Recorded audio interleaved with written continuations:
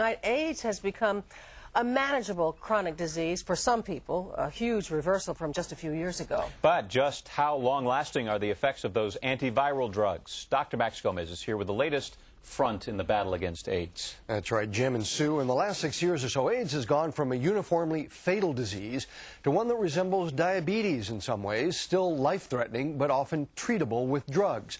But those drugs have a lot of problems, and they may actually be increasing HIV infections. Mark de Solla Price looks the picture of health, but beneath the healthy exterior, I've been HIV positive for 20 years.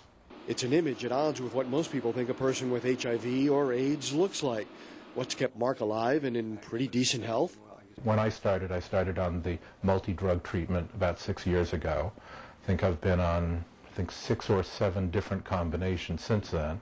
And you know, I've been very lucky. They've been very effective at fighting HIV. March referring to what's commonly called the HIV cocktail, various combinations of about 15 different antiviral drugs that have revolutionized the treatment of AIDS. The drugs we have are a great thing. I mean, the difference between now and 1995, when 1995 I had two people dying a week in my practice, um, and now um, I don't think we've had a death this year.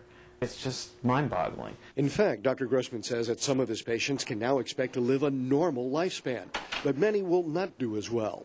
Elaine Bryant has had a much harder time with HIV drugs. They've caused the fat in her face to disappear, among other problems.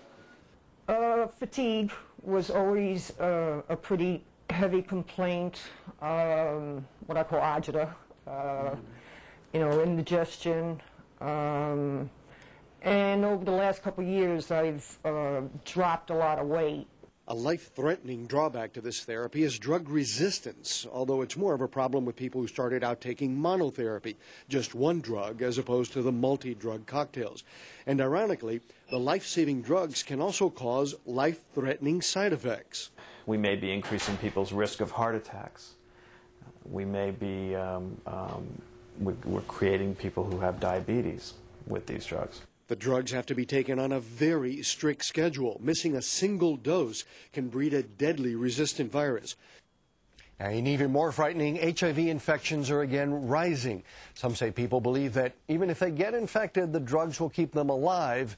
And that's a very dangerous game. The drugs don't work for everyone. You might get a resistant virus, or the side effects may be intolerable. And all of this, of course, is completely dependent on having access to those drugs, which a lot of AIDS patients do not have. All right, Dr. Max, thank you. You bet.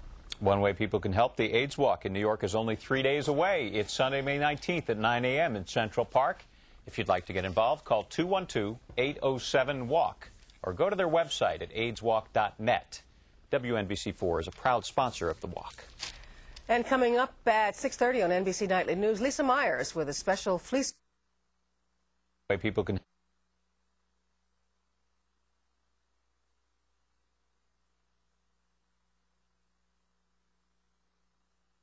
now has an exterior